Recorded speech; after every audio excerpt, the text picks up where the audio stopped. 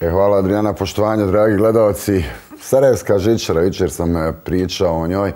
Pa rekoh da je nakon održanog okruglog stola od strane Udruženja tehničke kulture i Narodna tehnika kantona Sarajevo više puta urgirano kod nadležnih institucija uprave grada, ekonomskog fakulteta, odnosno instituta, tri ministarstva saobraćaja, IPSE, Energoinveste univerzite i drugih institucija, da su u obzir uzmu zaključci tog okruglog stola Trebevićka žičara ekonomsko-tehničke primjedbe na koncept nove žičare. I zaključeno je da je neophodno preispitati studiju, jer su konstatovane očite greške.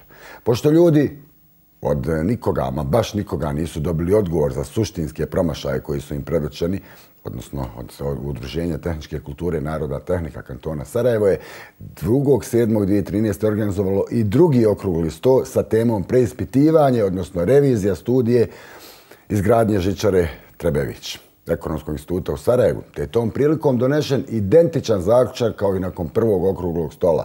Udruženje tehničke kulture tražilo od kantona Sarajevo da vijeće kantona zauzme stav o koncepciji Udruženja tehničke kulture izvođenja Trebevičke žičare, jer uprava grada ne odgovara, nikad se javili nisu. Trebevička žičara je jedan od najznačajnijih saobraćajnih objekata kantona Sarajevo, ljudi moji, koji ima ministarstvo saobraćaja. Prema tome, kanton Sarajevo nadležan za Trebevičku žičaru.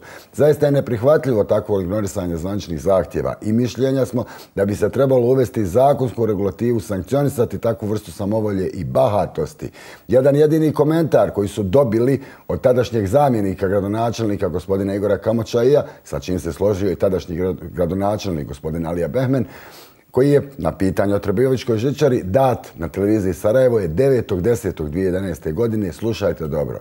Neznalica i kvazi inženjer Tafro Muhamed iz društva prijatelji grada Sarajeva kaže za nešto što je dobro i korisno, misliće na studiju predizvodljivosti, da je štetno i loše, a sve to radi ličnih interesa. Jezikom čaršije, budala i lopov, Poštovani gledalci, raspitivao sam se došao podataka da je spomenuti gospodin, gospodin dakle Tafro, diplomirani inženjer elektrotehnike, Tafro Muhamed, jedan najistaknutiji i najnagrađivaniji inovator u Bosni i Hercegovini, a među 30 medalja je i orden Vitez znanja.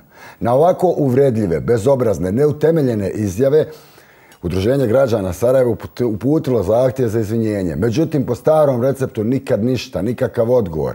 Ovim putem oni su zamolili televiziju OBN i emisiju Vox Populi da u interesu javnosti tražimo od uprave grada da se konačno izjasni koja će to varijanta od mnogobrojnih najavljenih izvesti i koje su to zamjerke, ako ih ima, ako su uopšte razmatrali, o koncepciji Udruženja tehničke kulture i narodna tehnika u kantonu Sarajevu.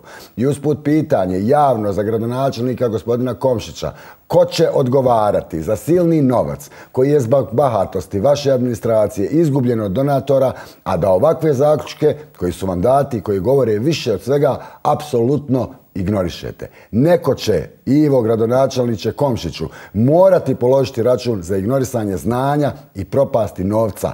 Kad tad? Vraćamo se u Obeninfu.